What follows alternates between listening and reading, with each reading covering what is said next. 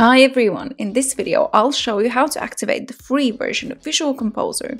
You can start using the plugin straight after installation, but to get all features available for the free version, you'll have to activate the Visual Composer hub. So the first step after installation is opening the Getting Started page that you can find under Visual Composer in your WordPress dashboard. And all you have to do now is get your license key. You can do that by clicking on the Activate Free button here. Now, just write down your email address, click on the button and copy your license. Now, let's go back to the dashboard and just paste the license. Click on Activate and you're done. Now you can use all features available for the free version of Visual Composer.